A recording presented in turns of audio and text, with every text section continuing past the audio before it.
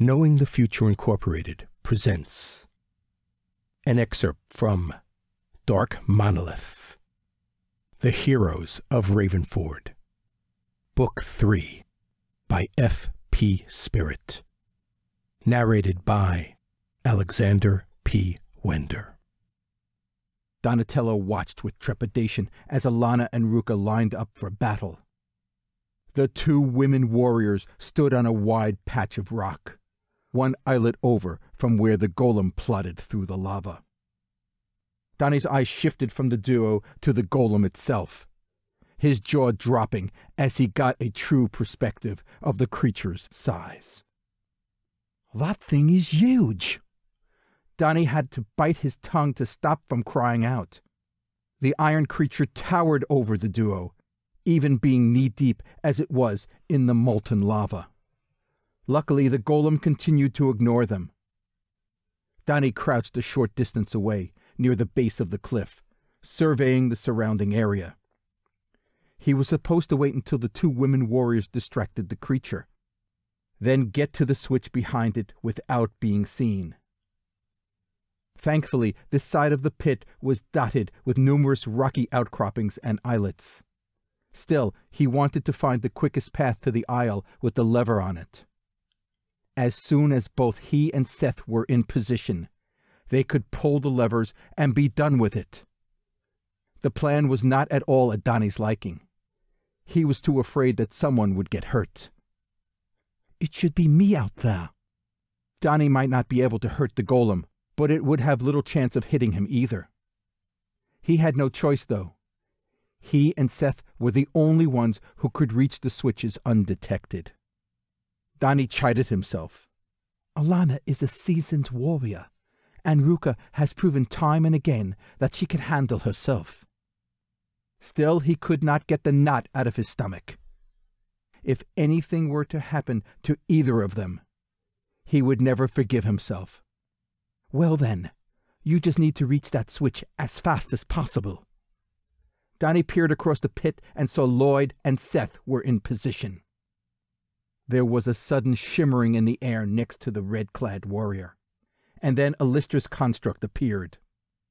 The creature immediately charged the golem in front of them. Go! Lloyd shouted from across the pit. Donnie shifted his focus back to Alana and Ruka. The duo separated, Alana's shield up, her sword springing to life with a brilliant white glow.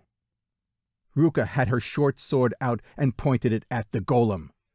Crack! Thunder rolled as a bolt of lightning jumped from her sword and caught the iron creature square in the chest. The golem immediately slowed down, arcs of electricity skirting across its torso. Alana charged into the lava, the molten liquid nearly up to her waist. She came within striking distance of the golem, then slashed at its knee viciously with her glowing sword. Once, twice, three times in quick succession. The golem slowly turned to face its attacker, but the Lady Knight had already backpedaled out of the lava and onto the islet where Ruka still stood. Donnie nodded approvingly. Very clever. They were attempting to draw the golem out of the lava and onto dry ground. That way it couldn't heal itself with the hot liquid. Crack! Thunder rolled once more across the cavern, this time from the other side of the pit. Donnie chanced a quick glance in that direction and saw a purple-robed figure hovering high in the air, while the red-clad form of Lloyd rushed forward into battle. Come on, big guy, Ruka's voice drew his attention back to the clash in front of him. Alana waved the golem on. Yes, this way.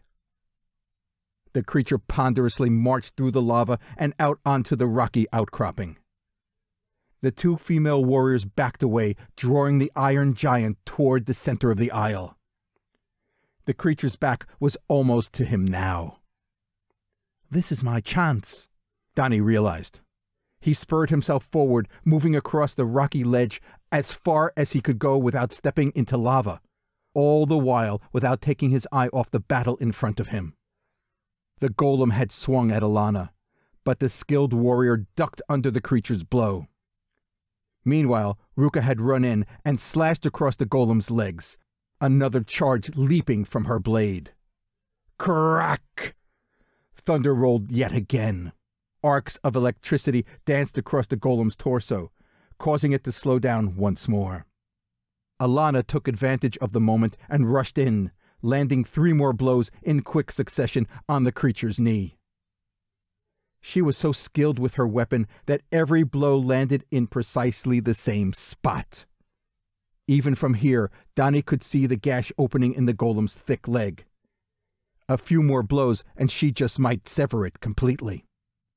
Donnie looked away for a moment as he leapt across the lava to another outcropping.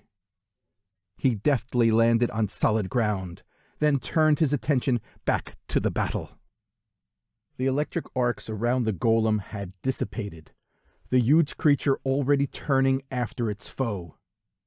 Suddenly a large limb lashed out, and a cannonball-sized fist hurtled directly toward Alana, giving her little time to react. At the very last second, the Lady Knight sidestepped and raised her shield arm defensively. Bam! The sound of metal on metal resounded across the lava pit. The force of the glancing blow was so great that it backlashed on Alana. Oof! The air was forced out of the Lady Knight as her entire body rebounded from the collision, pushing her back a few steps. Donnie froze in his tracks and nearly called out her name. He had to clamp both hands over his mouth to stop from screaming as he watched Alana struggle to maintain her balance. She finally managed to retain her footing, but the golem had followed her. As the creature recoiled for another blow, a cry rang out from the cliff above. Alana, look out! The switch be damned, Donnie swore silently. As he launched himself toward the Lady Knight, something flew through the air toward the golem's back. It was Ruka. Oh, no, you don't. The girl warrior screamed. She hefted her short sword high above her head, its blade crackling with electricity. Before the golem could unleash its blow, Ruka slammed into it, her weapon digging deep into the creature's back. Sparks flew as an aurora of electricity encircled the golem's large frame. The creature stopped in its tracks, seemingly frozen in place as the loud hum of electrical current filled the pit around them. Donnie had pulled up short and watched in awe as Ruka continued her electrical assault. Her feet planted firmly on the golem's broad back, she held onto the embedded blade and fired bolt after bolt of electricity into its innards. Once, twice, three times, and more. So many times that Donnie lost count. Steam rose from the space in the golem's visor, and then from its joints.